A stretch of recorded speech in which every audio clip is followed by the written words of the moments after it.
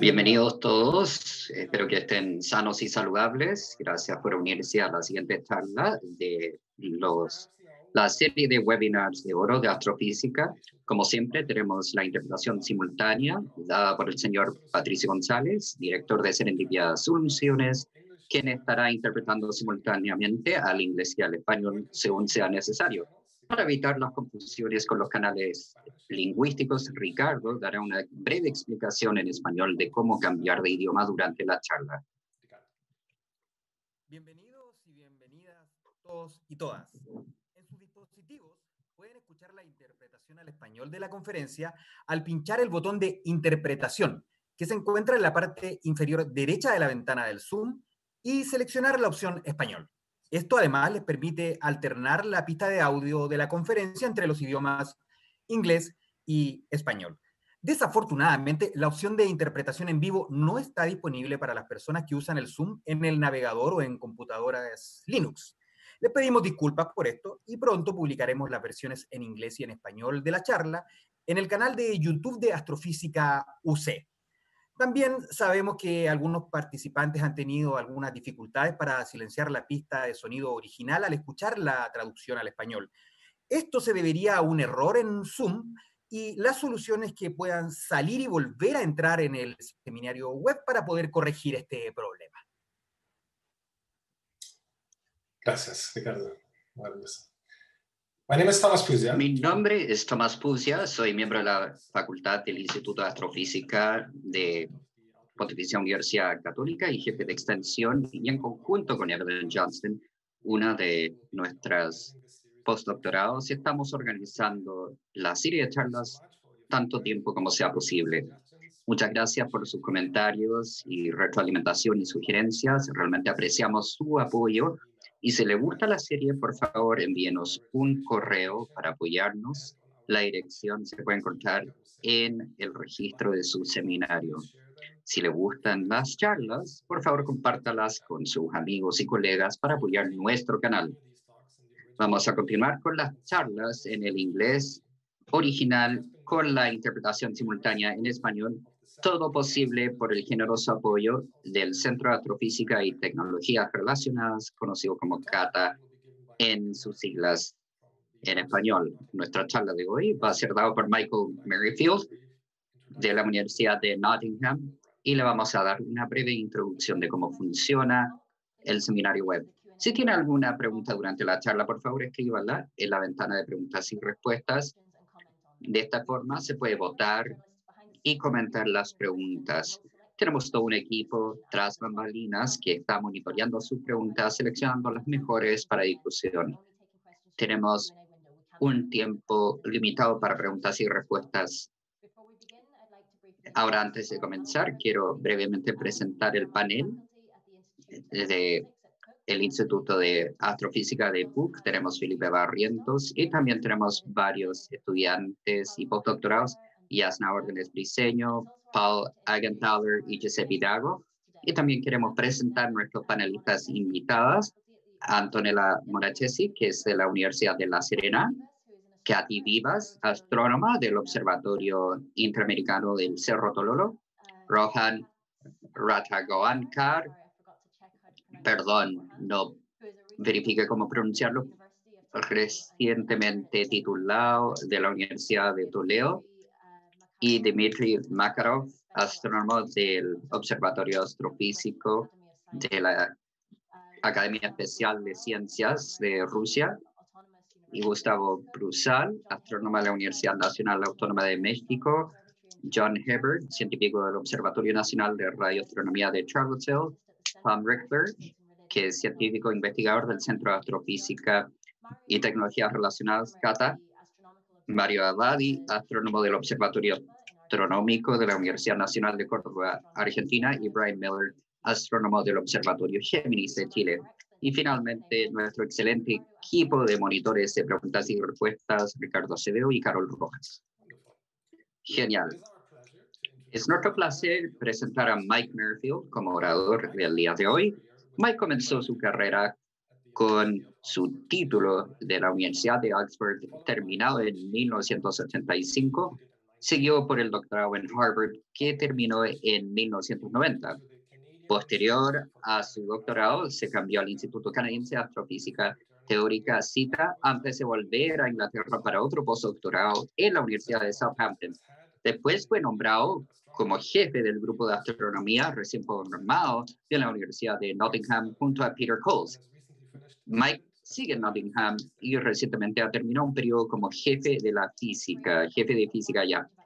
En su carrera ha cubierto una gran gama de actividades, incluyendo el diseño y construcción del espectrógrafo de nebulosa planetaria y también presidente del comité que supervisa la participación del Reino Unido en el telescopio extremadamente grande y coautor del libro para Astronomía Galáctica que estudié durante mi doctorado. También está involucrado con divulgación, por ejemplo, fundó la empresa Crystal Nebulae, nebulosas de cristal, que produce esculturas de vidrio de objetos astronómicos y estableció un canal de YouTube exitoso, por lo cual fue premiado con la medalla de Kelvin por el Instituto de Física en 2016. Y ahora Mike nos va a hablar de las observaciones bellas de las galaxias cercanas y claves de su formación. Muchas gracias por invitarme. A ver, un segundo mientras veo cómo avanzar el PowerPoint. Ahí sí. Así que con ese inicio y paso en falso, dar charlas con tanta tecnología es un poco difícil, así que le pido disculpas si es que no va tan ágil como quisiera. Aún realmente me molesta cuando nadie se ríe de mis chistes o no escuchar risa, pero es más difícil aún cuando uno ni siquiera puede ver si se rieron o no. Así que pido disculpas, esto va a ser un poco más engorroso que otras presentaciones. Muy bien, ya escucharon de mí. Como pueden ver, originalmente estoy en la Universidad de Nottingham y voy a hablar de algunas cosas relacionadas al proyecto Manga, que vamos a hablar en un rato más. También los videos relacionados más a astronomía en el canal Deep Sky, si quieren conocer un poco más de los objetos que vamos a mencionar hoy. Y también tengo eh, el trabajo adicional de crear objetos de vidrio en forma de objetos astronómicos. Así que ahora vamos a hablar de cómo utilizar las galaxias cercanas para ver cómo se formaron las galaxias en primer lugar. Todo esto vuelve a la antigüedad en el sentido de que las personas desde tiempo inmemoriales miraban el cielo y, veían una franja de luz en la Vía Láctea y crearon historias de cómo se formó todo esto. Toda la historia de entender la estructura de galaxias comenzó en ese entonces de la gente tratando de entender la estructura de nuestra propia galaxia. En cuanto a ciencia, en vez de fábulas, la verdadera historia y comprensión de por qué la Vía Láctea se ve como se ve, no comenzó con un astrónomo, comenzó con este caballero y, filósofo, Emmanuel Kant, quien es conocido por por lo menos su filosofía política que para mí es incomprensible y también por sus ciencias de estudios de ciencia natural, donde, por ejemplo, escribió este libro, una Historia Universal Natural y de los Cielos, del siglo XVIII, que también habló de por qué el sistema solar y la galaxia se veía como se veía, y él habló del colapso de una nube de gas que conservó su ángulo mediante circulaba. Así que fue giro más rápido y más rápido, quedando en forma disco. El Sol estaba en el centro, todo estaba en torno al Sol gravitacionalmente y por eso orbitan en el mismo plano que refleja de cómo se formó el sistema solar en primer lugar. La mayoría era acerca de eso, pero también habló de la Vía Láctea y su idea era que quizás la Vía Láctea es lo mismo, pero en una escala mucho mayor, quizás es un disco gigante de estrellas que quizás se formó de una manera similar y la razón que lo vemos como una franja en el cielo es la misma razón de por qué vemos los planetas en un plano eh, recto y es porque estamos en el mismo plano que eh, la Vía Láctea tiene al Sol también como participante de su figura, por eso se ve como una banda en el cielo una franja. No vemos que las estrellas se mueven a diferencia de los planetas, según su hipótesis, porque eh, había una diferencia de tamaños y también sugirió que algunos de los objetos más tenues de la nebulosa era lo mismo. Él llamó estos universos islas, pero lo que llamamos hoy en día galaxias. Habló de que estos objetos tenues, eh, sugiriendo que eran enormes y que por eso aparecían tan pequeños en el cielo, debe ser realmente una distancia enorme. Ahora, debo admitir como científico y astrónomo, es para mí molesto que dedujo todo eso sin hacer ciencia, simplemente lo pensó y así era. Él mágicamente dedujo cómo funcionaban muchas cosas. Y eso es básicamente ahora, si quieren apagar la conferencia, ahora está bien, porque eso es lo que entendemos de galaxias, pero obviamente aprendimos un poco más. El, aquí vemos un dibujo del siglo XIX de Lord Ross acerca de un universo isla, una galaxia cercana, y aquí vemos la imagen del telescopio Hubble, y como pueden ver, la imagen no ha cambiado tanto en 200 años o en los últimos 50 años. Se puede obtener imágenes más bellas hoy en día con mayor detalle, y como pueden ver, parte de ese detalle es crítico, pero la imagen general de las galaxias no ha cambiado mucho. Ahora, para tener la, la imagen completa, y ya realmente voy a mostrar parte de mi telescopio. Una de las cosas que hice en el año, mientras el Reino Unido estaba en cuarentena por COVID, es que quedé en casa, pero tenía así este nuevo telescopio para jugar en mi patio trasero y como pueden ver no es ideal para la astronomía, primero porque está en Nottingham, pero también porque está con muchos árboles. Mi esposa no me deja cortar los árboles, así que lo que puedo ver del cielo es bastante limitado, pero una parte que sí puedo ver es esta galaxia, que es la galaxia espiral. Bien, lo último que quiero destacar es cómo aparece la galaxia espiral. Tiene esta forma y, creemos que probablemente es un disco debido a la lógica que Kant utilizaba, pero hay otras galaxias también que sí nos muestran que son discos. Aquí hay una galaxia similar que se ve de otro perfil. Son estructuras en forma de disco, pero hay dos cosas que se tienen que destacar. Cómo se ve la galaxia depende de en qué dirección se están mirando. Y también hay otros factores compuestos. Por ejemplo, esta franca café, lo que los astrónomos llaman polvo, es una descripción no muy precisa porque es más como humo, va parecido al hollín pero el efecto es que oscurece la vista de las galaxias y pueden ver que realmente tiene este color rojizo café por cómo la luz es eh, reflejada en esto.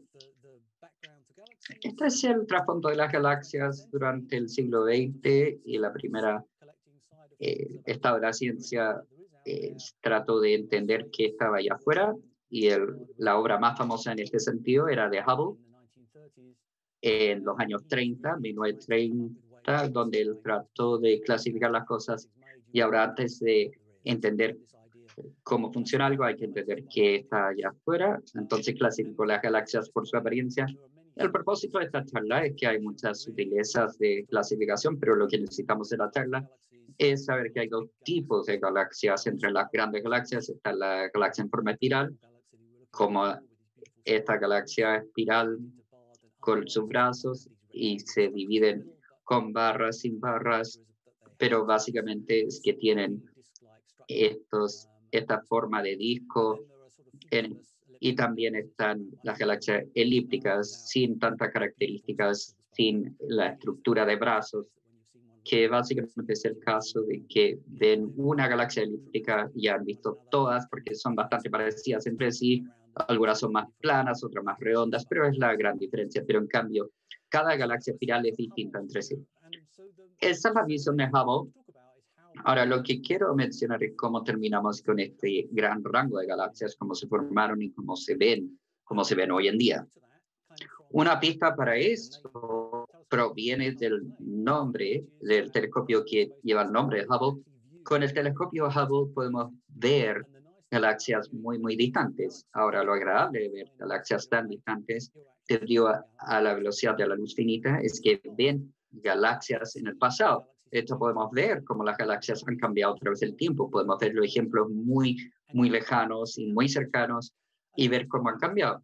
Lo interesante es que cuando ven estas galaxias tan distintas, muchas de estas se ven muy parecidas a las galaxias que tenemos cercanas, galaxias espirales, y otras más caóticas, como este conjunto, esta masa, que no hay análogos cercanos en nuestras galaxias, pero podemos ver cómo ha cambiado todo.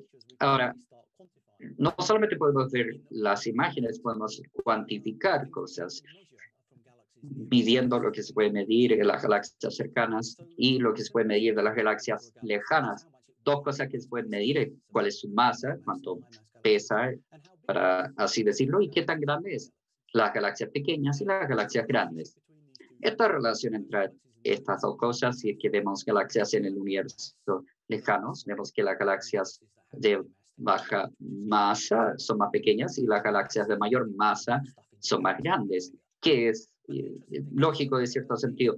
Ahora, lo interesante es que estas son las galaxias distantes en el pasado, esta línea es donde las galaxias están hoy en día.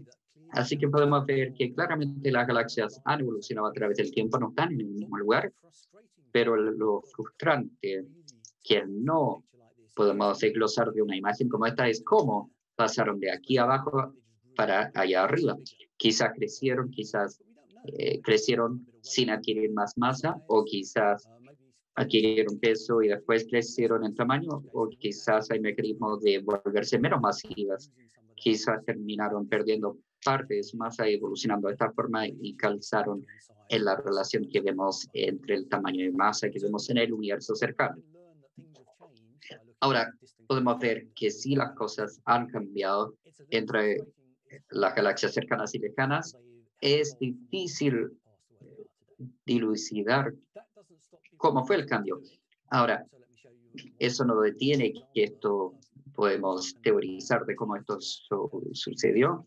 Aquí vemos imágenes de cambios, ya que hay una serie de paneles donde se comienza arriba a la izquierda y está volviendo hacia atrás en el tiempo, de izquierda a derecha y de arriba hacia abajo. Esta es una obra de hace un par de años atrás tratando de ver cómo la galaxia, la Vía Láctea se veía con sus predecesores, viendo predecesores, es bastante agradable que nos da una imagen intuitiva, una visualización de cómo ha cambiado, pero es hacer trampa porque se utilizó mucho conocimiento de cómo evolucionan las galaxias para producir esta imagen. No podemos usar una imagen como esta para entender cómo evolucionaron las galaxias, porque cómo evolucionaron las galaxias fue creado para tener, fue utilizado para crear esta imagen. Pero lo que sí nos da una buena imagen, pueden ver que una clara imagen de que las galaxias son más pequeñas al avanzar hacia atrás en el tiempo. El otro es que se vuelven más azules volviendo atrás en el tiempo no sé si lo pueden ver en pantalla, pero aquí son más rojizas, en el medio de edad mediana, a mitad de su tamaño, de su edad actual, tienen este color y al volver aún más en el tiempo son más azules. Ahora quiero hablar de este aspecto de qué podemos aprender del color de la galaxia. Hablamos de por qué una galaxia es roja o por qué podría ser roja. Hay varias razones de por qué una galaxia podría aparecer como roja la primera es que puede ser antigua y la razón de esto es porque resulta que las estrellas, las estrellas más masivas son azules y las estrellas que viven tanto como el universo son rojas. Así que hay una mezcla de estrellas azules y rojas, pero las azules mueren rápidamente, entonces quedan las rojas, se queda con, van a aparecer más rojas, las estrellas azules son de formación de ahora. Esto nos dice que hay una formación continua, porque es la única forma de tener estrellas azules. La segunda forma, ya les mostré que esto es un fenómeno de polvo, este material como YIL que se vio con, eh, por ejemplo, si recuerdan la imagen con la franja café, esto es porque el polvo absorbe la luz azul y deja pasar la roja si tiene mucho polvo. La galaxia, la luz azul intrínsecamente emite mucha luz azul. No la van a ver porque va a ser absorta y solamente van a ver la luz roja. Por eso también el universo parece tener más luz roja. Y lo otro son los elementos pesados, que funcionan de una manera similar. Si la galaxia tiene muchos elementos pesados, si el universo solamente comenzó con hidrógeno y helio, también hay que tomar en cuenta el silicio, hierro y otros elementos pesados, que tienen muchos de estos elementos más pesados en las estrellas que forman la galaxia también tienden a absorber luz roja, luz azul, si tienen muchos elementos de esta forma, por eso aparece ser más roja, porque toda la luz azul fue absorta por estos elementos pesados. Esto es un poco frustrante porque significa que aún si podemos decir que la galaxia era más azules en el pasado, no nos dice absolutamente por qué eran así. Lo bueno sí es que podemos eh, hacer algo mejor que simplemente decir que la galaxia era azul o roja. La forma más simplificada de ver los colores es tomar todos los colores de la galaxia y, dividirlo en este arco iris de colores. Lo pasamos por un espectrógrafo,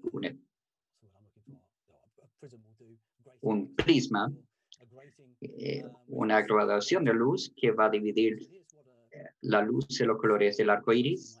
Y aquí se puede ver una estrella o galaxia al dividir los colores.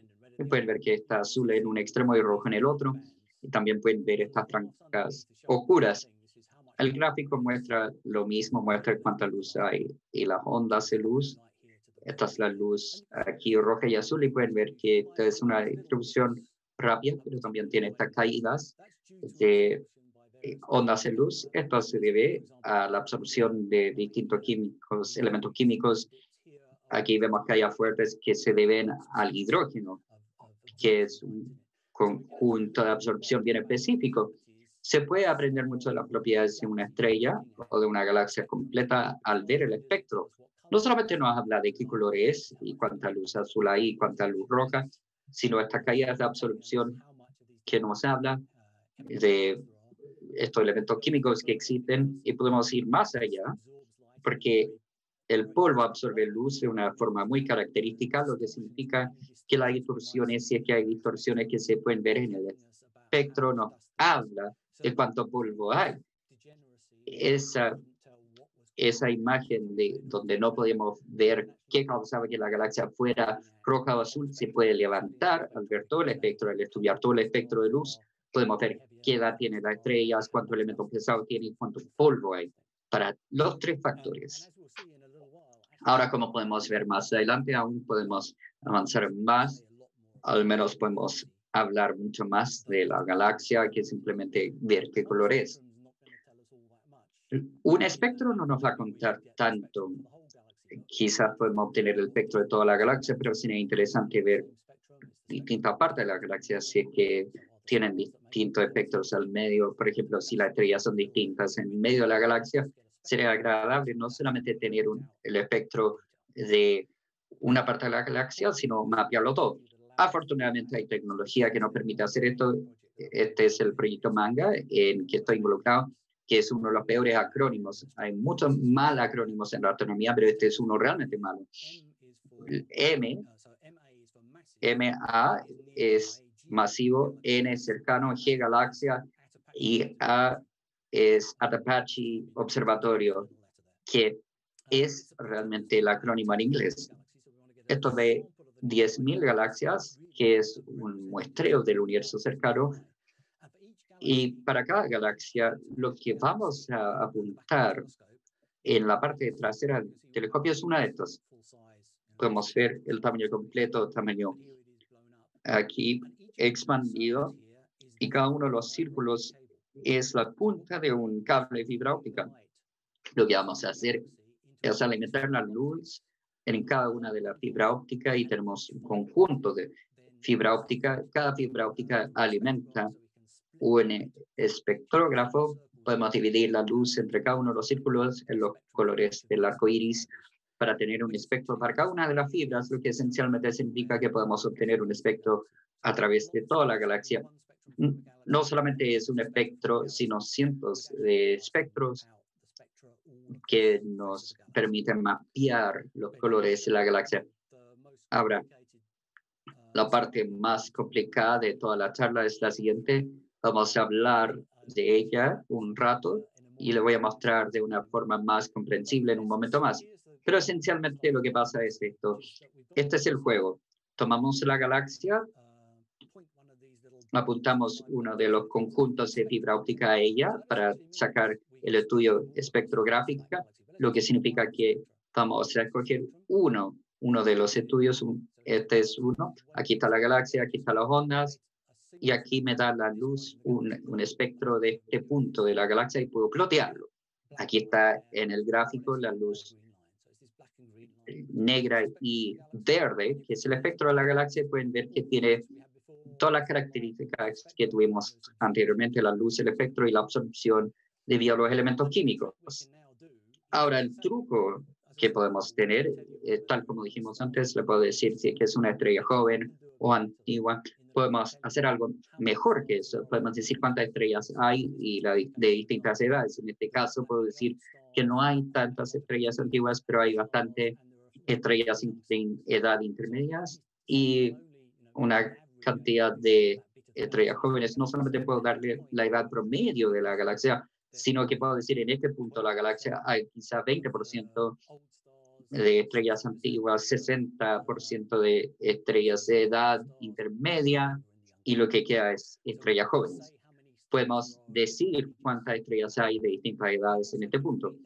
Y también puedo repetir ese truco para cada uno de los puntos de la galaxia porque tengo un espectro que nos alimenta las fibras de la fibra óptica y podemos decir cuántas estrellas hay de distintas edades, lo que esencialmente significa que puedo tener una imagen de dónde están todas las imágenes de estrellas jóvenes, dónde están todas las estrellas de intermedia y dónde están las estrellas más antiguas, para realmente mapear dónde están las estrellas en distintas edades. Esta fue la versión más complicada. Ahora les voy a mostrar la animación que espero que desglose un poco más y lo sea más comprensible. Este es el juego que se puede jugar. Tomamos un conjunto de espectros y podemos mapear dónde están las edades. Pasamos, estas son las antiguas, ahora las de edad intermedia y ahora las estrellas más jóvenes. Si volvemos al inicio, las estrellas antiguas más concentradas en medio, como podemos ver las de edad intermedia que está entre medio, y después las estrellas jóvenes pueden ver el espiral, los brazos del espiral, porque es ahí donde están las estrellas más jóvenes, donde están los brazos del espiral.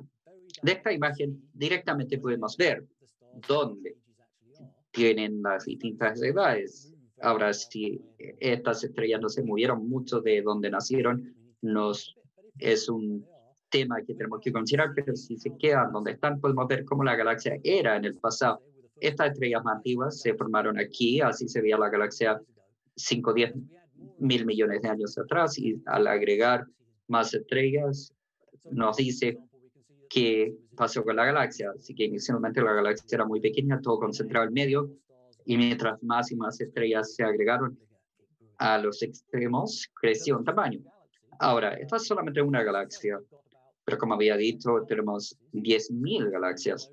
No solamente podemos jugar este juego para una galaxia, sino podemos ver típicamente qué sucede en las galaxias y cómo han crecido a través del tiempo al utilizar esto. Y es aquí donde llegamos a este tipo de arqueología de galaxias. Estamos realmente viendo el pasado de las galaxias, viendo las, los signos de la antigüedad los arqueólogos eh, estudian las capas, llegando a capas eh, para llegar a través atrás al pasado. Eso es lo que hacemos, estamos haciendo una arqueología de estrellas para ver lo que sucede con las galaxias. Con este enfoque estamos viendo cómo han crecido las galaxias a través del tiempo. Esta es una galaxia, ahora les voy a mostrar un conjunto de galaxias. Esto muestra cómo el tamaño de las galaxias creció a través del tiempo. Este es un ploteo que fue publicado, es más información de lo que necesitamos. Este es el ploteo de una de las publicaciones, pero quiero mostrar este panel arriba a la derecha. Básicamente muestra cómo crece, cuánto crece la galaxia de pequeño a grande comparado a cuánta masa tiene. Podemos pasar y ver la estrella más antigua, simplemente agregamos más y más estrellas al pasar el tiempo y nos muestra cómo crece la masa de la galaxia y cómo cambió el tamaño de la masa.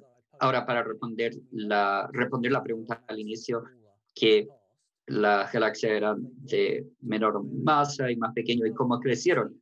Ahora podemos ver que las galaxias crecen de izquierda a derecha y algún momento tienen un alza.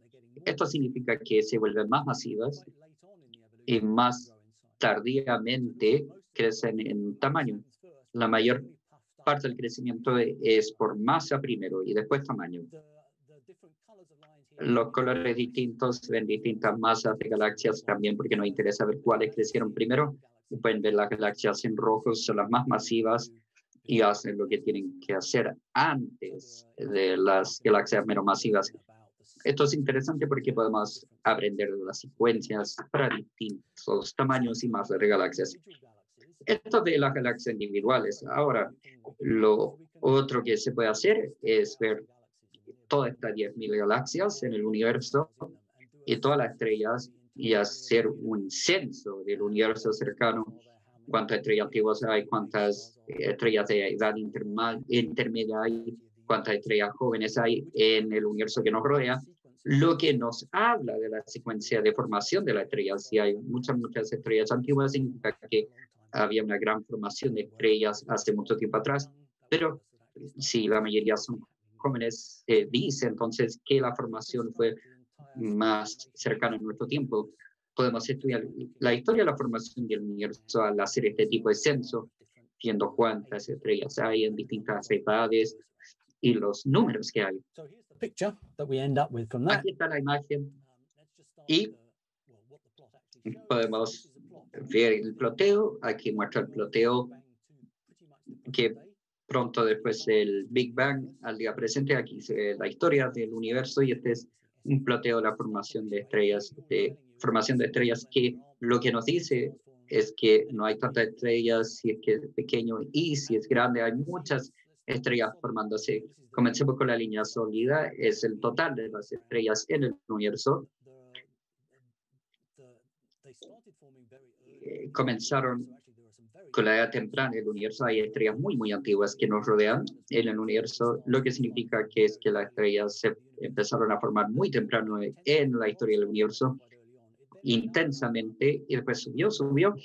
Entonces había más formaciones de estrellas mientras evolucionó el universo hasta 6 mil millones de años atrás. El universo tiene 12 mil millones de años, 6 mil millones de años atrás, llegamos al pic, ah, y después todo ha caído. La formación de estrellas en el universo está cada vez menos, se está formando menos estrellas, el universo está llegando a la Edad Media, entonces tal como nosotros se vuelve un poco más lento. Ahora, lo otro que se puede hacer no solamente es tener este censo de todas las estrellas, sino que sabemos dónde están, sabemos cuáles están en las galaxias elípticas, que, cuáles están en las galaxias espirales hermosas, podemos dividirlas, podemos dividirlas en cuántas de ellas, cuántos están en distintos tiempos, cuáles son elípticas, cuáles están en galaxias espirales.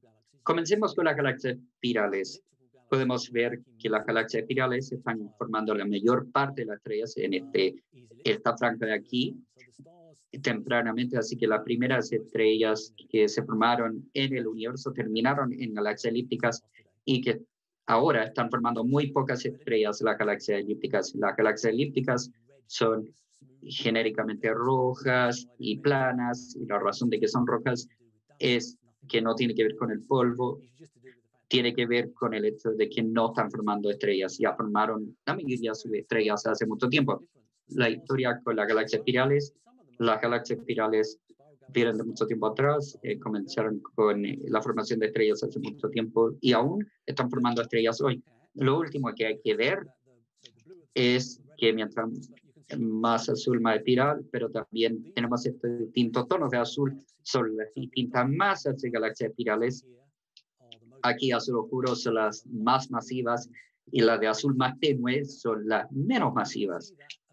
Podemos ver que una mayor parte de la formación de estrellas en el día de hoy es en menos galaxias menos masivas que están formando la mayor cantidad de estrellas hoy en día y la mayor cantidad de, de estrellas fueron formadas en el pasado de las galaxias espirales. Aquí, en las galaxias elípticas fueron formadas en muy tempranamente. En cambio, las galaxias menos masivas estaban formando estrellas más recientemente. Esto es un fenómeno que dice que la mayor parte de las galaxias formaron las estrellas en una edad temprana del universo. Estos son todos los ingredientes que tenemos para explicar lo que vemos. Tenemos una imagen razonable de la secuencia del evento, como evolucionó uno tras otro. Y el hecho de que las galaxias elípticas fueron formadas primero, lo más masivo fue formado primero, como todo creció. Tenemos una explicación razonable. La última parte de la charla es hablar de la teoría, de cómo se considera la física. Esto no es algo nuevo. La gente ha considerado la formación de galaxia desde Manuel Kant. Él al menos tenía una teoría de cómo se formó la Vía Láctea, pero en términos de ciencia moderna, la primera gran contribución de entender cómo se formaron las galaxias fue hecha por estos tres caballeros de aquí, Egan, Bell y Sandit. Esta imagen fue más adelante, tomada más adelante en su día, pero tal como Kant, ellos querían entender cómo la Vía Láctea se formó. Ellos hicieron una observación interesante para explicarlo, que si ven las estrellas individuales en la Vía Láctea y plotean dos cantidades, la edad y qué tan cercanas son sus órbitas a ser circulares, pueden ver una relación fuerte, que las estrellas más jóvenes tienen órbitas muy circulares y como se acuerdan de la imagen de Kant, eran en estas órbitas porque estaban en un disco ordenado. En cambio, las estrellas más antiguas de la Vía Láctea están en órbitas más azarosas, no ordenadamente, entonces tienen como este halo más caótico porque no están con un disco claro. Entonces, ¿cómo se forman las galaxias? Produce una imagen como esta. El argumento de ellos vuelve a la visión de Kant de cómo la Vía Láctea se formó en primer lugar como una analogía de cómo se formó el sistema solar por un colapso de una bola de gas. Ahora vamos a ver eh, el modelo de Egan, Lindenau y Sandwich. Se comienza con un conjunto de gas, una masa de gas que va a formar la Vía Láctea y por cualquier razón está rotando levemente, quizás tocó con otro conjunto de gas, eh, gravitacionalmente interactuó entre sí, está rotando un poco. Lo que va a suceder es que la atracción de la gravedad va a tirar el gas hacia adentro, va a empezar a colapsar el gas. Egan, y Sandit sugirieron que mientras colapsa, las primeras estrellas empiezan a formarse y en la Vía Láctea y muchas otras galaxias, las estrellas más antiguas que encontramos están en estos conjuntos, estos clusters interiores. Así que esto sugiere que esto sería lo primero que comenzó a formarse en el gas y lo otro que sucede es que volviendo a Kant, y, por ejemplo, como los patinadores tiran su brazo hacia adentro para ir más rápido mientras giran, esto en el universo, en la galaxia, significa que empieza a girar más rápidamente y es difícil colapsar en la dirección que gira. Es más fácil colapsar en la otra dirección. Entonces la nube empieza a aplanarse mientras avanza girando, más estrellas se forman, eh, sigue girando más rápidamente hasta que finalmente se termina con un disco plano de material girando lo más rápido que puede, todo en círculos. Y pueden ver que esto naturalmente explica la secuencia, que lo primero que se forma, las estrellas más antiguas están en este halo borroso, en cambio las estrellas de que se forman hoy en día en el gas son más ordenadas en el disco, así que se forman de una manera más ordenada, lo que explica bien esta secuencia de eventos. Y es una imagen hermosa para entender la galaxia y la Vía Láctea, la formación de ellas. Y esta imagen la vamos a ver de un vecino, la galaxia de Andrómeda. Es la galaxia espiral más cercana de la Vía Láctea. Y esta es una buena imagen de parte de la historia, pero claramente no es toda la historia. Parte de la razón de que sabemos que no es toda la historia es qué pasa si estuvieran una galaxia como Andrómeda en mayor detalle, si tomamos una imagen detallada, podemos ver unas partes más tenues externas. Esta es una imagen de Ferguson y sus colaboradores donde ven eh, las estrellas en la galaxia Andrómeda y empiezan a ver pistas de cosas extrañas que suceden. Esta es la galaxia normal al medio, pero lo blanco aquí, donde hay estrellas excesivas, aquí hay una, una parte excedente aquí y acá. Se empieza a ver más caótico. Ahora, si vemos los datos más recientes, es más drástico. Aquí hay un estudio más profundo de qué sucede en torno a la galaxia Andrómeda y pueden ver que es muy caótico. Aquí está la galaxia Andrómeda ordenada, pero aquí están estos eh, brazos y colas extremos y algunas eh, estrellas compañeros. Aquí está Mesio 33, galaxia compañera que está siendo tirada por la galaxia Andrómeda. Lo que estamos viendo aquí son las remanentes de fusiones de galaxias que han tocado. Y esta es la parte que falta de la imagen que ellos tenían este conjunto de gas y que estaba solo por 10.000 años o 10 millones de años. Ahora, lo que es más aparente ahora es que sí es parte de la historia, pero otra gran parte de la historia es que las galaxias chocan entre sí regularmente. De hecho, parte de la forma que la galaxia puede crecer no solamente es al crear nuevas estrellas mientras colapsa, sino también al fusionarse con otras galaxias creando un mayor tamaño. Le voy a mostrar, perdón, le voy a mostrar esta imagen primero, que es una de mis galaxias favoritas. Desafortunadamente no, se, puedo verlo de mi patio trasero porque están los cielos sures, pero perfecto para Chile y por eso él eso está observándolo. Este es NGC 7252, que se ve como una galaxia elíptica forme. Eh, es simplemente un conjunto de luz, pero si vemos una exposición mayor, puede ser difícil verlo en su pantalla, pero de hecho hay una imagen, estos brazos que han salido de la galaxia tirándose en todas las direcciones. Lo que muestra es que probablemente la forma en que una galaxia se forma es que si toman dos galaxias como la Vía Láctea, como la Vía Láctea, dos galaxias espirales y las chocan entre sí, después se pierde esa estructura coherente porque ya no hay un disco bonito y todo, se está, todo queda más azaroso. Así que de hecho todo el sistema se vuelve más azaroso y se termina con algo que se ve como la galaxia elíptica que vemos en el universo. Esto es uno de los, una de las pistas evidencias de cómo crecen las galaxias y también eh, los dos tipos espirales y verticales, como explicamos los dos tipos, probablemente las galaxias espirales es lo que sucede si es que están solas y las galaxias elípticas suceden es cuando chocan entre sí las galaxias perdiendo la bella forma y estructura. Le voy a mostrar un video de la evolución de la galaxia o una imagen. Este es los brazos en fusión. Le puse tanto color para que se parecieran más a árboles. Esto es un, tipo de imagen para ver cómo se forman las galaxias. Lo que dice que en esta galaxia de izquierda a derecha es la posición donde están. Esta es donde está en una dirección en el espacio y a través del tiempo es el avance, el día presente está abajo. Esto muestra en forma de imagen. A ver, todo se congeló. Esto muestra en forma de imagen de cómo las galaxias se fusionan y cómo forman galaxias mayores. Aquí están las galaxias individuales que empiezan a formarse y las flechas verdes aquí.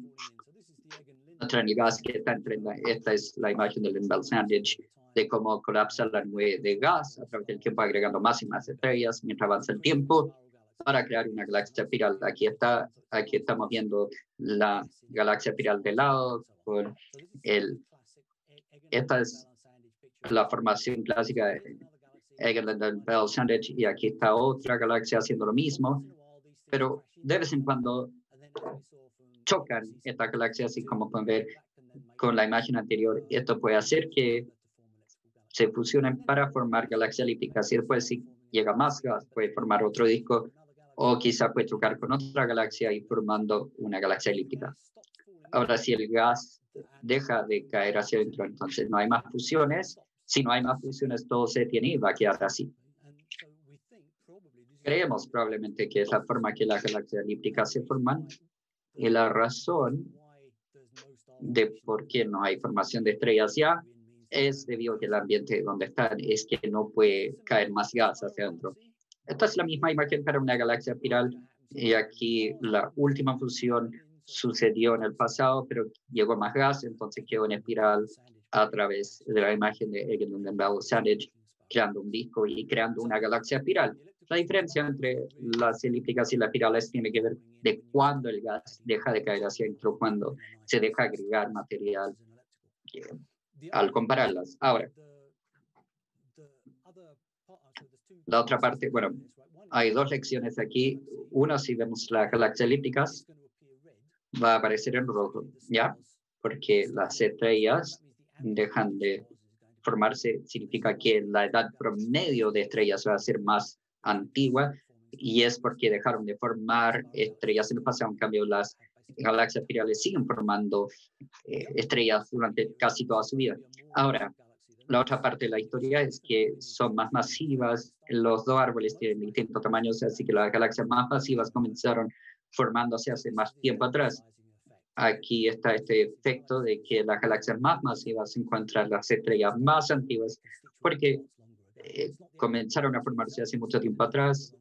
No es la galaxia en sí que se formó hace mucho tiempo, sino las estrellas que finalmente terminan en la galaxia. En cambio, para las galaxias menos masivas, todo comenzó más recientemente, lo que significa que no hay tantas estrellas antiguas. Esa es la imagen de cómo se forma la galaxia. Podemos hacer mucho, algo mucho mejor. Podemos colocar la física en un computador, hacer una simulación de toda la vida del universo. Pueden crear galaxias, pueden aún estudiar el gas, de cómo el gas fluye y entender cómo el gas ayuda a formar la galaxia, pueden hacer todo eso. En vez de modelo, e, este dibujo, pueden hacer todo un cálculo para entender qué tipo de galaxias este modelo predeciría para el universo que nos rodea. Y de hecho podemos empezar a compararlo al universo real. Es decir, ya es una buena imagen, pero funciona. Probablemente lo más sencillo que pueden hacer es preguntarse cuántas galaxias hay en distintos tamaños. Si es que crea un universo de juguete, hay muchas pequeñas galaxias o muchas galaxias grandes, o hay más galaxias que terminan siendo pequeñas. Bueno, si hacemos eso, comenzamos con el universo real, este es el ploteo donde mostramos cuántas galaxias hay y qué tan masivas son.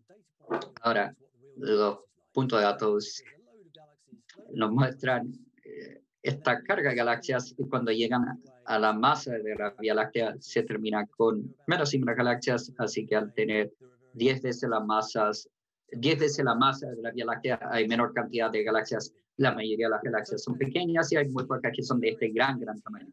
Ahora las líneas aquí, como hicimos el ejercicio de la simulación de cómo se formó el universo, en primer lugar, si colocamos todos los datos en la simulación y ver qué sale, en la simulación. Los astrónomos son muy buenos en fingir que todo calza cuando no es así, pero aún así los astrónomos tienen problemas en justificar que de hecho estas líneas se ven como los puntos de datos. Resulta que es porque nos falta de más física. Resulta que al ver las galaxias en el universo cercano es clave para entender la física extra. Ahora vemos una de las galaxias relativamente cercanas M82, la galaxia en explosión, que es algo dramático. Lo que podemos ver es una galaxia en disco normal, pero lo rojo es gas. Gas que no está cayendo hacia adentro, está más bien siendo expulsado de la galaxia. La razón de esta expulsión es que la galaxia está formando muchas, muchas estrellas. Las masas de estas estrellas están explotando en supernova, creando mucha energía y tirando gas de vuelta hacia afuera de la galaxia. Esto es una característica muy dramática en la galaxia porque el gas es lo que forma estrellas en primer lugar, así que puede detener la formación de estrellas. Entonces se forman estrellas, se explotan y esto puede detener toda la formación, todo el proceso de formación de estrellas. Y este es un fenómeno que genéricamente se llama retroalimentación, que es autorregulado. Se deja de formar estrellas, las supernovas pueden detener o al menos enlentecer el proceso. En las galaxias de baja masa puede ser tan drástico que puede explotar la galaxia, puede inyectar tanta energía que de toda la galaxia deja de formar estrellas y que quizás no formaría tantas estrellas en primer lugar, se puede suprimir la formación de estrellas en la baja cantidad de masa. Ah, ahora hablemos de las galaxias cercanas M87 dentro del, cúmulo de Virgo y aquí hay un chorro de material que está siendo expulsado del medio de M87, de esta galaxia brillante en el medio del cúmulo. Este es un chorro de material producido por un agujero negro. Cada galaxia masiva tiene un agujero negro al medio, pero si es genérico de todas las galaxias que tienen, en, las galaxias masivas tienen este agujero negro. Ahora, es un proceso muy energético de tal forma que parte de ese material no cae al agujero negro, sino que es expulsado con gran energía. Y esto puede tener el mismo efecto que esa energía se inyecte de vuelta a la galaxia, eh, que expulsa todo el gas afuera y que detiene la formación de estrellas. Aquí estamos en el lado masivo. Es un proceso autorregulado donde una vez que la galaxia llega a cierto tamaño, este proceso se vuelve más eficiente en detener el crecimiento porque una vez que adquiere más gas para formar esto, parte esto entra al agujero negro, lo que crea este proceso energético que toma o que expulsa el gas de nuevo. Resulta que todos los efectos pueden arreglar el problema razonablemente en el sentido de que todo lo que, como se ven los datos antes, estas son las líneas de lo que la teoría dice. Y básicamente era bien para las galaxias tamaño de la Vía Láctea, pero estaba, eran muy pocas, muy, muy pocas galaxias de baja masa y no hay muchas galaxias supermasivas. Resulta que todo proceso de, es de retroalimentación, todo proceso de retroalimentación explican esto y cuando se coloca la simulación se crea la línea roja que reproduce, reproduce los datos bastante bien. Y lo que sucede aquí es que hay un número de galaxias de baja masa que son suprimidas debido a la detención y las galaxias masivas nunca crecieron más allá de 10 veces la masa de la Vía Láctea por este proceso de retroalimentación que es muy efectivo debido al agujero negro al medio, que es muy efectivo en detener que la galaxia crezca. Así que de estos estudios de galaxias cercanas, viendo el orden, que todo se ordenó, la secuencia de y también viendo estos procesos adicionales que podemos ver en mayor detalle en las galaxias cercanas, podemos básicamente reconstruir la formación, la historia de la formación de las galaxias se me acabó el tiempo, así que voy a resumir lo que quiero eh, decir hoy. Tenemos este truco de ver las cosas de galaxias distantes para ver cómo era todo en el pasado. Lo que nos dicen que las galaxias en el pasado eran muy distintos, que todo evolucionó, pero es muy difícil colocar la secuencia y ver cómo las galaxias en el pasado se transformaron en las galaxias que vemos hoy en día al ver el universo distante resulta que las galaxias cercanas dan, eh, se unen para aclarar esto. Ahora estas nuevas observaciones y técnicas que hablamos de la arqueología galáctica, donde usamos el espectro de galaxias para ver dónde están las estrellas antiguas, las estrellas jóvenes y todo entre medio. De hecho, nos da una herramienta muy potente para entender cómo fue la secuencia de eventos para formación de galaxias. Una vez que colocamos todo esto y más otras partes y piezas, realmente podemos ver eh, en conjunto con los vecinos cercanos y los procesos de retroalimentación tenemos una, una, un entendimiento muy íntegro de cómo es. Y esto es todo lo que tenía que decir hoy. Y ahora le voy a dar un recreo al intérprete. Aquí está el resumen en español. Muchas gracias.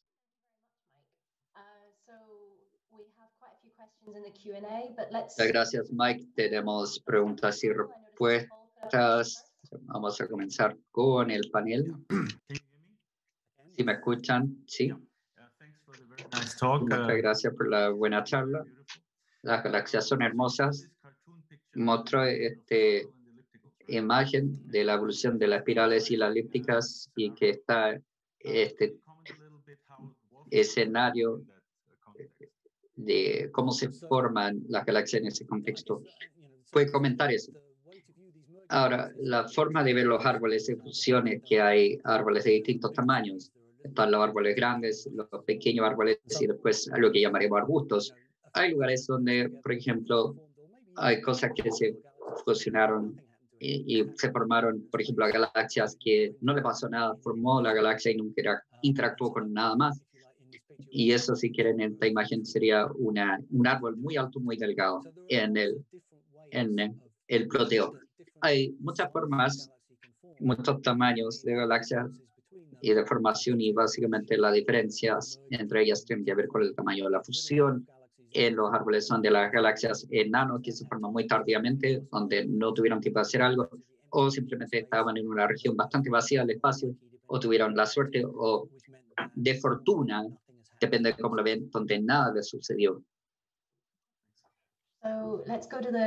Vamos entonces a la pregunta y respuestas. La pregunta top es de Asincam, que dice, leí en algún lugar que, hay agujeros negros en el centro de todas las galaxias, pero las imágenes son estos centros muy brillantes. ¿Por qué existe esto? ¿Por qué tan brillante el centro? Creo que entendí la pregunta en alguna de esos agujeros negros, bueno, eh, lo que define un agujero negro es que es negro, ¿verdad? No lo vemos. El agujero negro en sí, aún la luz no escapa del agujero negro. Ahora, la razón de que hay sus efectos es por el tiro es tan intenso eh, que crea un proceso muy energético en su vecindad. Así que si es que se ve un agujero negro o no, nos dice si es que hay algo interesante o no si hay un agujero negro que está allí sin nada que cae adentro, ni un material que, que está tocando alrededor, no lo van a ver. Simplemente van a ver la galaxia. Pero una vez que terminan con una situación donde una estrella está cayendo hacia adentro o una nube de gas está siendo eh, destrozada, ahí van a ver luz del centro de la galaxia. Así que a pesar de que hay eh, agujero negro en todas estas galaxias, en muchas galaxias son in, inactivos. No se ve el agujero negro. Son solamente los casos extraños donde algo energético está sucediendo en la vecindad del agujero negro es que se ven las consecuencias del agujero negro. Relacionado a esto, hay una pregunta en español de Alfredo Navarrete que pregunta si es que hay agujero negro en el centro de todas las galaxias. Parece ser así el caso. Ahora, esta relacionado a las sutilezas que no mencioné, que aún si ven una galaxia espiral en la imagen, hay una parte redonda, esta parte redonda, y para la galaxia elíptica es todo redondo. Pero la masa del agujero negro está más conectado a qué tan grande es esta parte del medio. Así que no se entiende completamente hoy en día. Y esto significa que cualquier galaxia que tiene algo como una parte esferoidal al medio, va a tener un agujero negro. Por ejemplo, la Vía Láctea que tiene como una parte un poco más grande al medio, pero relativamente eh, pequeño, es solamente un millón de veces el tamaño del Sol, es modesto para las galaxias, pero M87, esa galaxia tiene un agujero negro mucho más grande al medio. La única parte donde quizás no hay un agujero negro al medio es si la galaxia no tiene una parte esferoidal al medio. Por ejemplo, en los discos de disco puro es posible que quizás no tenga un agujero negro masivo al medio, pero parece que sí, la mayoría de las galaxias sí tiene un agujero negro masivo al medio. Genial, Kathy tenía su mano levantada. Sí, hola, voy a tomar una de las preguntas del público de Matías. Él pregunta de cuál es el rol de la materia oscura en la evolución y formación de las galaxias. Muy bien. Es absolutamente vital. Las imágenes que mostré ahora acerca de los modelos que no hicieron todo bien, esta línea aquí, esta línea punteada, es lo que se formaría si es que lo único que existiera es materia oscura. La materia oscura nuevamente no emite luz, pero sí tiene masa, lo que significa que tiene gravedad y que tiene una formación gravitacional. Así que como se forma de acuerdo a su estructura en primer lugar es que la masa dominante del universo, que es la materia oscura, empieza a juntar material. Y eso creó las semillas, los lugares donde las galaxias entonces empiezan a formarse. La materia oscura comenzó todo el proceso dictando dónde las galaxias se iban a formar. Donde se equivoca es qué tan masivas son las galaxias, qué tan brillantes son las galaxias, porque es apalancado por esta física más complicada que tiene que ver con los procesos estelares, los procesos asociados con el gas que cae en estos halos oscuros. Pero realmente el materia oscura es lo que une todo en primer lugar y dicta dónde las galaxias están en el universo. Vamos a Felipe ahora. Muchas gracias, Michael, por la buena charla. Voy a dar un par de preguntas al público y después si usted puede comentar, por favor. Alguien pregunta, ¿qué sucede si es que hay dos galaxias elípticas y se fusionan? ¿Formarían una galaxia espiral? Sería mucho más simétrico si funcionaría. No, pero simplemente sería una galaxia elíptica. El proceso fusión es, bueno, en destruir estructura y no formarla. Las características de ellas que ven en las galaxias espirales son muy delicadas y tienen que tratarlo con mucho cuidado para mantener la estructura espiral, pero una vez que empiezan a romper, a tocar las cosas, sea galaxia espiral o elíptica, se pierde toda esa estructura, así que desafortunadamente no sería una, galaxia más grande que es elíptica. ¿Cuál es la posición de las galaxias azules elípticas? Y finalmente un comentario para mí es cuál es el rol del ambiente en esto. Muy bien. Veamos con la primera acerca de las elípticas azules. Es una pregunta interesante. Hay otro lado, las eh, rojas espirales, las que se ven como rojas espirales. Creo que la única defensa que puedo dar es que no hay tantas de ellas, lo que significa que probablemente no son tan importantes en afectar la historia global. Algo particular sucedió en esos casos, pero sí es una de las cosas interesantes de cualquier teoría científica tiene que explicar todas las observaciones, así que de hecho tenemos que explicarlo todo y, entenderlo para las espirales rojas es quizás porque tuvieron mucho polvo o porque algo extraño sucedió y dejaron de formar estrellas. Similar a las azules elípticas, eh, son muy eh, pobres en elementos pesados o quizás fueron una galaxia de disco joven que fue interrumpida por una colisión quizás eh, y está en una edad temprana que se transformó en una galaxia elíptica pero con estrellas jóvenes. Es complicado, pero las buenas noticias en mi perspectiva es que son suficientemente poco frecuentes que no afectan toda la historia. Tanto a hablar de eso que se me olvidó de cuál era su comentario, Felipe. El rol del ambiente. El ambiente. Si volvemos a esta imagen, lo, crítico entre la elíptica y la galaxia espiral es que la elíptica eh, deja de adquirir más gas, en cambio la espiral sigue acumulando gas. Uno de los puntos claves que hace el ambiente es que si colocan una galaxia en un lugar donde no hay mucho gas frío que aterrice sobre él, va a dejar de formar estrellas. Por ejemplo, en los cúmulos grandes galaxias hay gas, pero muy candente. Es un halo candente de eh, gas en el cúmulo, lo que significa que nunca se va a enfriar suficiente para colapsar sobre la galaxia, entonces nunca van a terminar formando más estrellas así. Así que sí que se crea más gas, es un aspecto y el otro aspecto es el ambiente, si tienen muchas galaxias cercanas entre sí, entonces van a tocar más frecuentemente, lo que significa que más fusiones. En cambio, si las galaxias están más aisladas en el ambiente, entonces quizás no se fusionen o sean más poco frecuentes las fusiones y eso afecta la cantidad de ramas que hay en el gráfico. Hay muchas preguntas. Vamos a John. Muchas gracias por la gran charla. Tengo una pregunta ese rotololo. animación de la diapositiva 19 es una mezcla morfológica de galaxias y si es así, están viendo galaxias compactas planetas y que están surgiendo. Si es espiral, nos dice algo de inside out o outside in. Son solamente espirales, son solamente espirales. Esto es un crecimiento de adentro hacia afuera de las galaxias, de adentro hacia afuera, al ver cómo se forman las galaxias medio. Muy bien. Mario tenía una pregunta. Muchas gracias por la buena charla. Tengo una pregunta de las preguntas y respuestas. Si podemos determinar la historia de las galaxias. Entender la historia de fusión al ver solamente una galaxia, sí.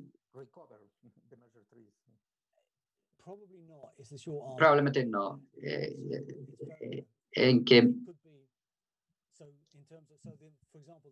por ejemplo, el tipo de información que se puede ver de ploteo como esto nos dice cuántas galaxias hay de distintas edades, no nos dice de la, perdón, la edad de las estrellas, si es que las estrellas antiguas se formaron en una sola galaxia que ha estado ahí mucho tiempo, o si fue una fusión de galaxias.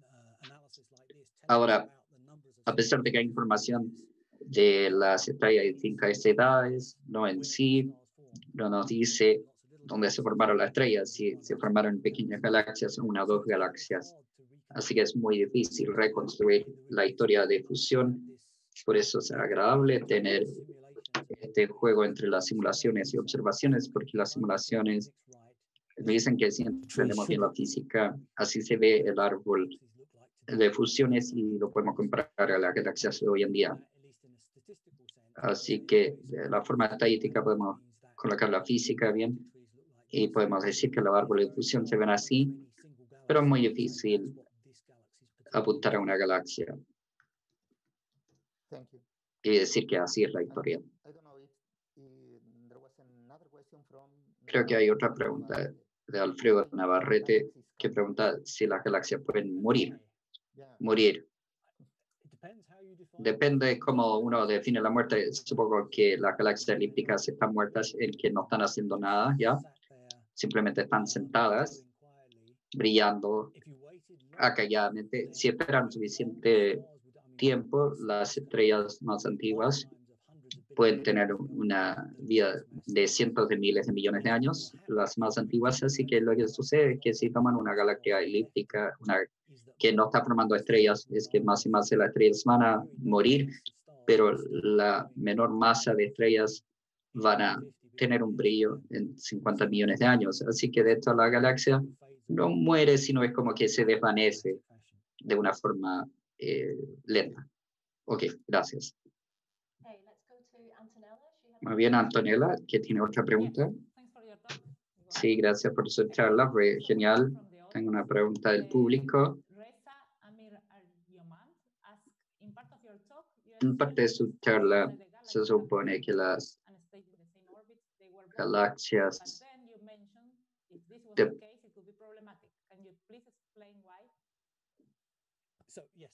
Así que sí, traté de pasar esa información, pero me pilló.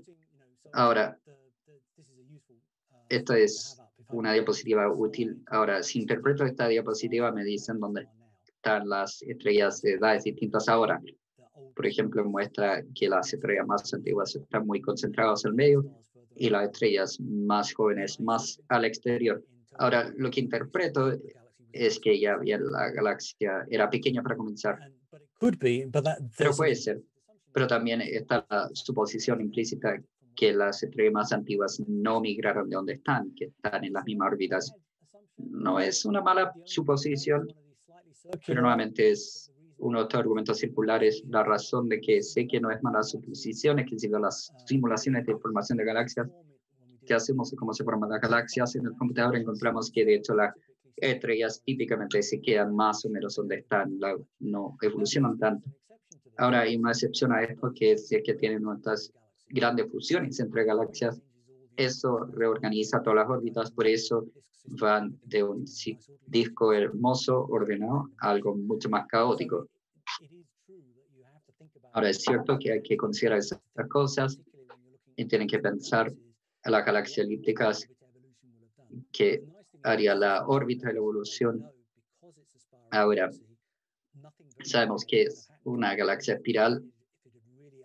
Ahora, si es que no pasa por una organización, reorganización, va a ser una galaxia espiral. Ahora, tiene que ver dónde refleja dónde está la estrella ahora. Pero sí es cierto, es una sutileza de que tenemos que cuidar al tratar de entender las galaxias elípticas y por qué terminaron, eh, dónde están.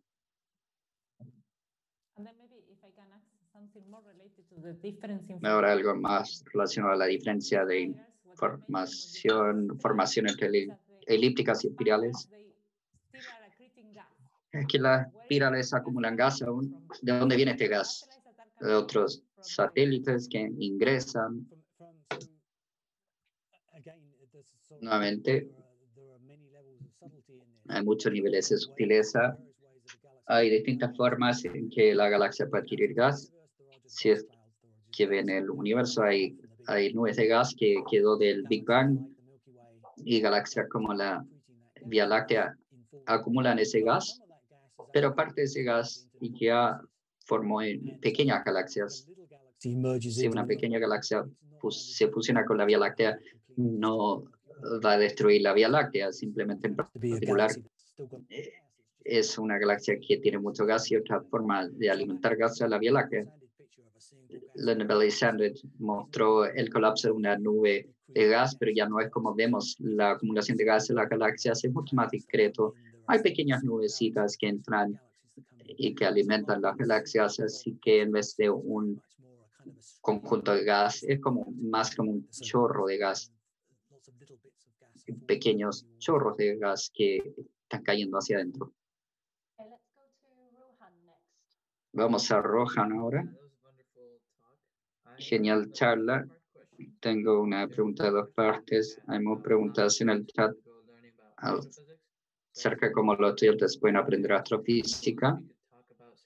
Ahora podemos hablar de 60, 60 symbols y qué insights no puede ver a los astrónomos de cómo presentar conceptos astrofísicos mediante videos interesantes. Muy bien, así que sí estaba en ambos, 15 años ya, 15 años en estos proyectos de 60 Symbols, donde comenzamos a tratar de explicar algunas cosas física avanzada y astronomía avanzada a un público avanzado, o sea, perdón, a un público general.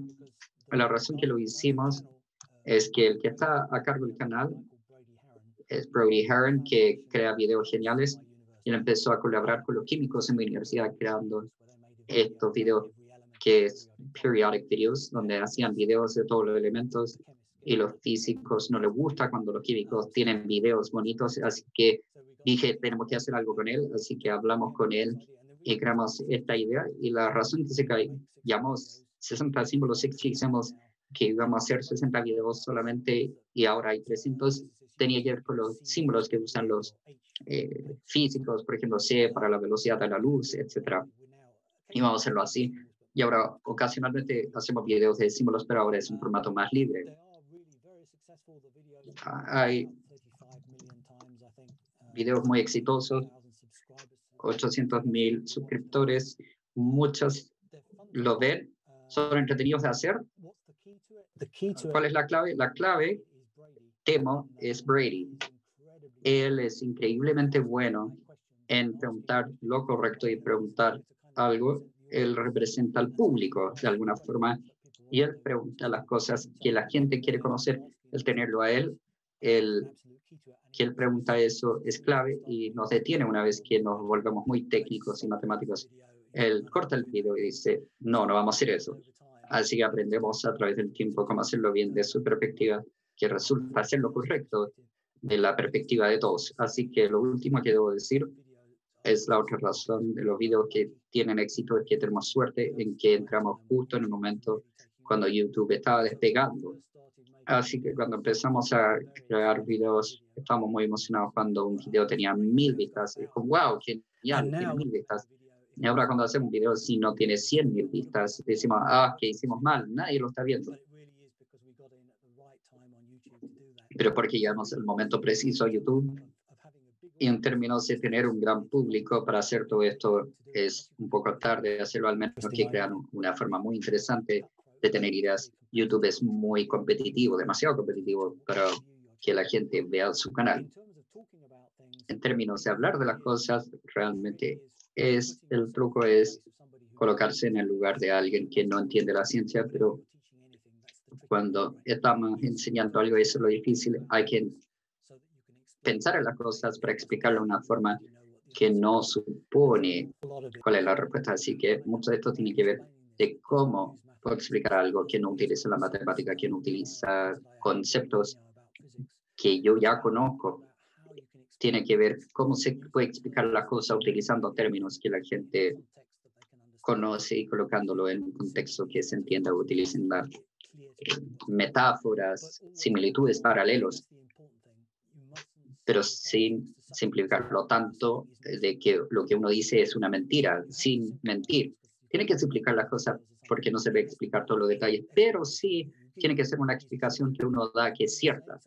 Y cuando uno dice algo que no es cierto, tiene que decirlo, tiene que decir, que no es tan así como funciona, pero es algo parecido.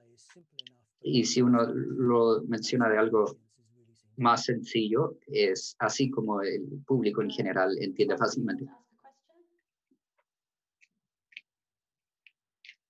Ja, das ist Tom Richtler. Uh, there is a...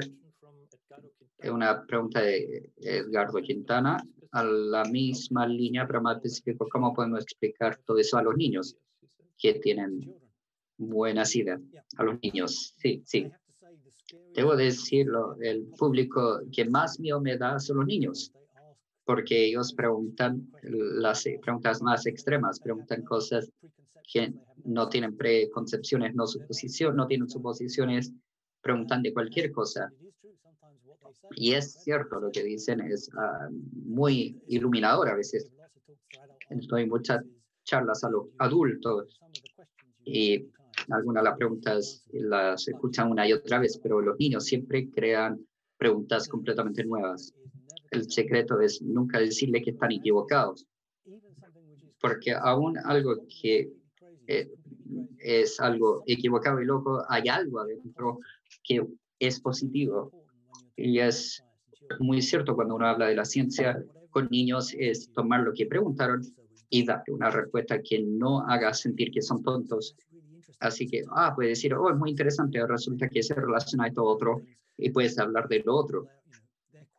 Siempre uniendo su pregunta a algo interesante, porque es la forma de que la gente se puede emocionar de la ciencia, no diciéndoles, ah, está equivocado o no sea leso, más bien decirle, aquí se vincula esto otro, que es interesante también. Hablamos con Dimitri, la pregunta es de Dimitri. Do you hear me? I do. Uh, okay. Uh, hello. Uh, thank you. Hola, muchas gracias por la interesante charla. Some question from Q&A by Francisca Jara. Could you Veo pregun una pregunta de Francisca Jara. And I'm pretty sure you, you can. Me imagino que se la puede ver. Perdón, ¿cuál fue la pregunta? Oh. Puede identificar los elementos pesados con esta técnica. Francisco Jara puede identificar los elementos pesados con esta técnica. En su obra me imagino que es. Y también me gustaría expandir esa pregunta.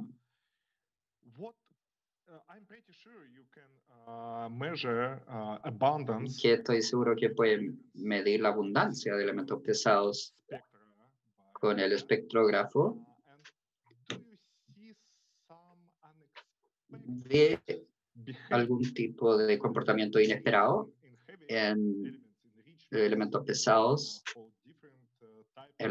para distintos tipos de galaxias. Por ejemplo, en nuestra galaxia no, vemos riquezas metálicas en cierto tipo de estrellas, usted tiene un- una muestra mucho mayor que nuestra galaxia. ¿Qué nos puede decir de eso? Muy, muy interesante pregunta y convenientemente esta diapositiva muestra parte de la respuesta que es una de las cosas que no mencioné. No solamente se aprende la edad de las estrellas, sino elementos pesados y la abundancia es lo que hablamos de metalicidad, que es interesante. Así que la barra de colores aquí le habla de cuáles son la abundancia de distintos elementos en las estrellas. Si pasamos por el plot aquí, mientras avanzamos al principio, las estrellas en medio están coloreadas en rojo. Esto habla de una alta abundancia de elementos, mientras tiene elementos más pesados, más abundancia que el Sol, pero las estrellas más lejas tienen menor eh, abundancia de elementos pesados que el Sol. Así que en la Vía Láctea encontramos que en el disco de la Vía Láctea es la misma historia. Ahora eh, tienden a tener menores abundancias y las estrellas cercanas al centro tienen una mayor abundancia de elementos pesados. En la Vía Láctea podemos aprender mucho más eh, porque se puede estudiar las estrellas individuales y un espectro muy interesante para estudiar los elementos químicos. Aquí debemos combinar información, no hay tanta información espacial. Vamos a aprender las estrellas individuales, vamos a aprender algo y la imagen es similar. Parece ser contraintuitivo porque las estrellas del medio son las más pesadas y tienen elementos pesados. Y aquí, aquí tenemos elementos pesados que devuelven los elementos pesados al gas de la galaxia. Así que lo que pasa con el tiempo es que las estrellas más jóvenes deberían tener más elementos pesados, pero sucede lo opuesto. Lo que nos dice es que muchos de estos el- estrellas jóvenes que estamos viendo no se están formando del, de elementos reciclados, sino es material nuevo que se tiene que tiene que caer a la galaxia. Esto vuelve a la acumulación de gas nuevo sin elementos pesados, como una galaxia como la Vía Láctea. Ahora, como estas estrellas antiguas terminan teniendo elementos pesados, significa que ciertamente no es la primera generación de estrellas. Debió haber sido una rápida generación de estrellas tempranamente en la vía del universo que recicla el- los elementos rápidamente a lo que vemos hoy en día, lo que tiene elementos pesados. Así que mucha información que se puede obtener de los elementos pesados y es consistente con lo que vemos en la Vía Láctea. Y es otra parte de la imagen que nos permite entender la secuencia. Um, Thomas. Y vamos a Tomás para la última pregunta. Sí, gran charla, Mike. Muchas gracias. Um, there's a question in the Q&A. Hay una pregunta, preguntas y respuestas a Alex, y esto es inspirador para mi pregunta también. Alex pregunta acerca del telescopio James Webb y a dónde lo apuntaría. Y sé que estás involucrado con el proyecto ELTA, Extremely Large Telescope, así que, que son la siguiente generación de máquinas para hacer feliz a los astrónomos. ¿Dónde y qué tipo de telescopio construiría para la siguiente generación? Y si yo fuera el director y si yo le diera fondos ilimitados, ¿a dónde apuntaría el telescopio? Más allá, más allá de LT. Ok, ¿cuáles son los siguientes pasos? Esto hace surgir una pregunta interesante porque la astronomía tiene un problema ahora que el crear telescopios más y más grandes se vuelve más y más caro y más y más difícil. El LT cuesta 1,5 mil millones de dólares. El James Webb, me, en 9 mil millones, creo que 10, 10 mil millones. Así que no podemos seguir haciendo eso. Cada generación el precio sube. La generación anterior al LT era una fracción, 100 millones quizás. El mundo no puede aguantar crear telescopios cada vez más grandes. aún para la generación antigua, la generación actual que utilizamos, los países no pueden, eh, muy pocos países pueden construir sus propios telescopios. Así que para la siguiente generación, como los GLT, va a haber dos o tres para todo el mundo. El mundo no puede costearlos. Tenemos que unirnos en mayores grupos. Ya se nos acabó la gente para pedirle dinero para construir algo más grande que eso. Así que realmente tenemos un problema muy serio de ir más allá. Aún el ELT es un problema. Hay como 10.000 astrónomos en el mundo y aún así, el momento en que nos interesamos y podemos hacer astronomía y contribuir al campo es que todos nos dan tiempo al telescopio, ¿verdad? Se supone. Los, hay suficientes telescopios para que lo utilicen. Ahora, en la siguiente generación de telescopios, cuando hay dos o tres, eso va a ser muy difícil porque de pronto, de hecho, la mayor parte de la gente no puede tener tiempo con el telescopio, así que alguien más tiene el tiempo. Así que yo creo que societalmente dentro del marco de la astronomía no hemos pensado en esto mucho, pero vamos a tener que hacerlo y sí tienen que ir más allá. Por ejemplo, si el LT es 1,5 mil millones y la siguiente generación ultra grande, ULT ultra grande, telescopios va a ser 10 mil millones de dólares y no hay país que lo va a pagar. Así que mi, mi temor es que estamos llegando al punto final donde podemos avanzar. Mi perspectiva del ELT que vamos a ver ahora es eh, lo donde estamos bien por cantidad de astrónomos por telescopio, pero me preocupa la siguiente generación de telescopios. Tiene que haber otra forma creada de hacer ciencia interesante que simplemente no significa colocar más dinero en telescopios más grandes. Es una verdadera pregunta que tenemos que tratar, eh, que hemos dejado de lado y hemos tratado de ignorar, pero tenemos que considerarlo. Siente que estamos ignorando el hecho de que podemos usar la inframetría en menores ondas, ondas más cortas. Una de las cosas en que está involucrado es el espectrógrafo que estudia los movimientos de las estrellas y órbitas. Y creamos un instrumento. No, no es barato, pero tampoco era tan ridículamente caro.